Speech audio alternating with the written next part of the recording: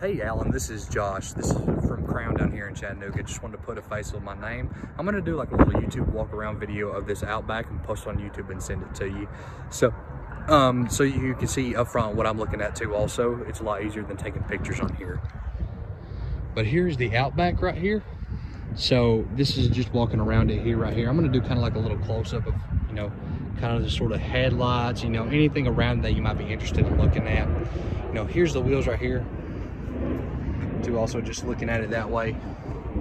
Also the tires in pretty good condition too also. It's got plenty of tread left on them too also. And the outback symbol i'm looking around through here too also and i'll get inside the vehicle here in just a second. But i'm gonna try to point out any dents dings or scratches or anything like that so just so you see it up front too also. But here's the wheels on this one too also so you can take a look at that. Also the tire tread lift on the back is pretty good too also as you can see. But do a little bit of a walk around right here and as you can see, it is an all-wheel drive Subaru too also. It's got the uh, parking sensors in the back too also, and of course a backup camera. So as I'm looking through here, I really don't see any dents, dings, or scratches, and I'm not kidding either, or I would just literally point that out.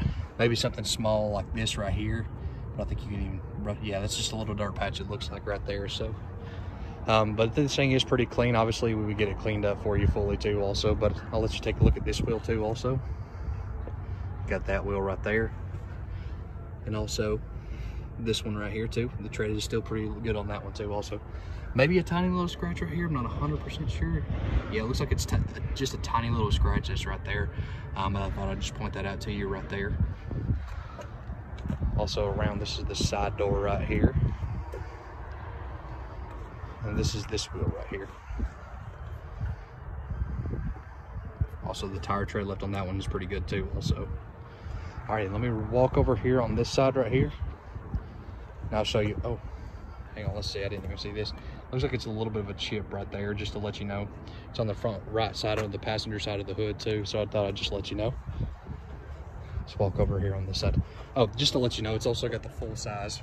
I'm sorry, it's just got the sunroof that's right there too also, so you let you know it has a sunroof. It's a limited, so it's got the leather interior inside here too also, and it is an all-wheel drive version. So you do have, you know, X mode if you want to take it off road and all that sort of stuff. Just anything you're in general set to doing. It's got Harman Kardon speakers down here too also, along with memory set seating and two keys that come with it. And also it's got a power trunk lift gate, lane departure, adaptive cruise control, um, blind spot monitors, you name it, it's on. It's pretty loaded out. Go ahead and start this up for you. Tremendously larger than it would be in, outside the city limit. Sorry about that, I had to turn that down. It's got 51,472 miles on it. Um, obviously, you're getting pretty decent gas mileage with it too also. Um, 140 speedometer limit gauge on there. And as you can see, you have your adaptive cruise control on your steering wheel right here, along with your volume controls and your Siri control and all that sort of stuff. Bigger size screen that's in here too also. If I'm not mistaken, I think it has nav and stuff like that in it. Yeah, let's see. Yeah, it has navigation inside of it. I apologize about that. Um, but it does have navigation inside there. As you can see on the left and the right side, you have heated seats over here, and you have dual climate control right here too also.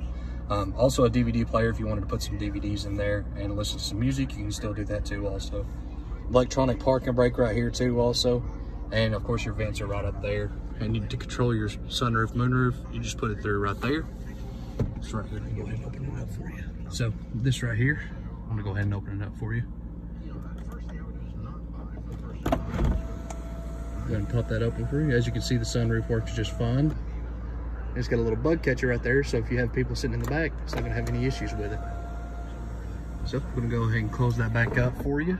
And I'm gonna go ahead and close this back up. But as you can see, leather interior's been taken really good care of. Um, too also. Uh, there's no stains. I don't see any stains or anything like that. It's a pretty clean vehicle. Obviously that one little rock chip in the front, but um, let me know if you have any more questions or anything like that. I'm going to go over the more of the vehicle with you. And if you'd ever like for me to send you more pictures, I'd be more than glad to. Alrighty. Thank you. And I will talk to you here soon.